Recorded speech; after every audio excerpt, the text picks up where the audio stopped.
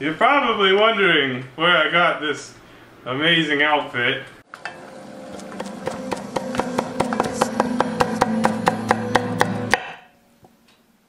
Hello, tonight on Pretty Good Cooking, we're gonna teach you how to make paneer, which is a cheese. And you're probably wondering where the cheese hat is. Well, I'm tired of wearing it. I have some dignity. So, I you the first step should be to make a drink, but you're you got you're working with milk. So if you like really wanted to drink right now, you could drink a little bit of milk, and you would be a milk drinker, and you would be a child of three. So well, we're just gonna hold off for a second. I got a gallon of milk. It's whole milk, and uh, it's not ultra high pasteurized. It's just pasteurized. If you get ultra high, it won't work. So I've read. And I gotta make some other stuff with milk, so I'm gonna save a cup of this.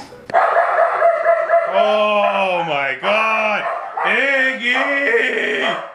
Iggy, Iggy wants some milk? Uh, a little milk drinking pups. See ya! And then the rest goes in a pot. I highly recommend using a non-stick pot for this purposes.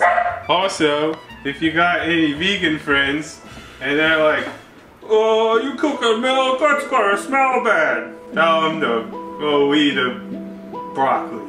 And a not a very good one. Like a three day old once cooked but then microwaved again and maybe fell on the ground broccoli. Uh, you, it's, you gotta heat it slowly, so I'm gonna do like medium low heat. It's gonna take 20 years, but if you don't heat it slowly, you'll you'll burn the milk and the vegans will be really pissed. Uh, that's gonna take forever. So we'll, we'll come back to that when it's when it's steaming but not boiling. Okay. Okay, so we're making the cheese. Our milk's steaming here, but not boiling, which is good, and that's where we want it. So we're gonna add an acid. We're gonna use lemon juice, and the, the acid separates the curds from the whey. It's a science. So I got this lemon juicer here. I don't know if I'm using it properly, but I don't think I'm using it properly. I think maybe it's supposed to go the other way. But I think my lemon's too fat. Yeah, alright. So that's juice of, probably just juice of one lemon will do it. So we, uh, now that it's steamy, we get it spinning. Iggy Bitty! Thank you! And then we add the acid.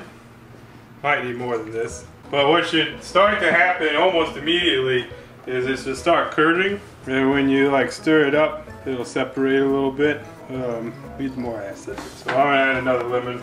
Alright, more acid. And you can already see it starting to, they're like on the top, you, you got some things that are cheese-like in nature. So I'm gonna like really briefly turn up the heat just to make it do something. And then would turn my, Iggy! Iggy, Iggy, Iggy, Iggy!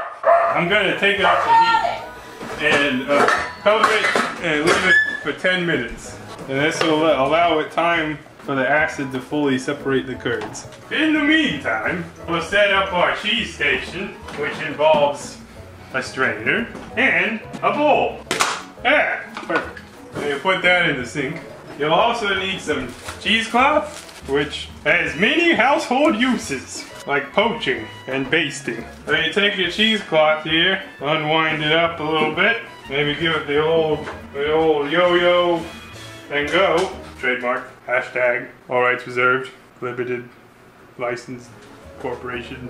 And uh, you're gonna line your strainer with this, which I seem to recall it being less weird than this.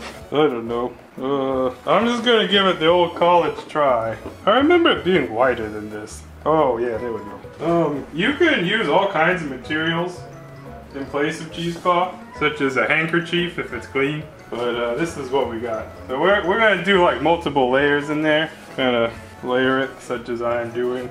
And it doesn't have to be perfect really. Because I, I, if we ever made anything perfect on this show, I think I'd just quit. I'd just move back to Alabama. Oh, mercy, I'm hot. To give a paper towel. Okay, so it's been a few minutes here. And you can see it's already looking very curd-like. If you take a spoon and like push it together, this right here, this is fresh cheese. And this is pretty similar to ricotta. I guess it would be good to point out now that what we're making is it's just fresh cheese. And so a lot of different cultures have like their own version of this, like queso fresco in Mexico or ricotta in Italy, paneer in India. So because the milk's still kind of kind of thick, means it could keep separating. Then I'll probably add just a little bit more acid and let it sit a little bit longer. I'm chopping half of it, so it ended up being like two and a half. A little bit more in there, and we stir it all around. Just wait a couple more minutes.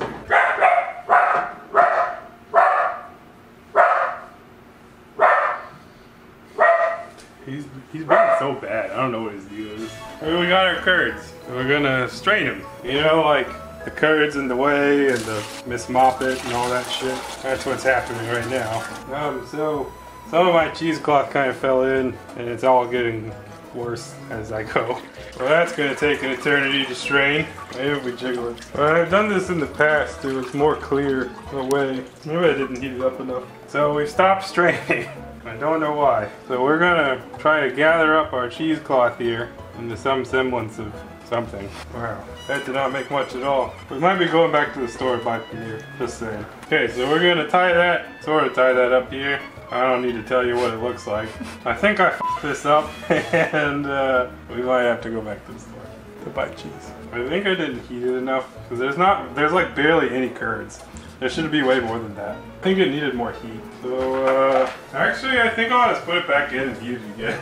Let's see what happens. And let's use a different acid. Let's use vinegar. But you're probably thinking like, vinegar in my cheese. But you're probably not actually thinking that because you have no clue how to make cheese. Listen boys, uh, cheese making is infuriating. I don't recommend it. That's some weird God. This cheese is trying to make like uncheese it so I can re-cheese it. This might not happen. What in the What in the actual Okay, so there's some cheese. Whatever the this is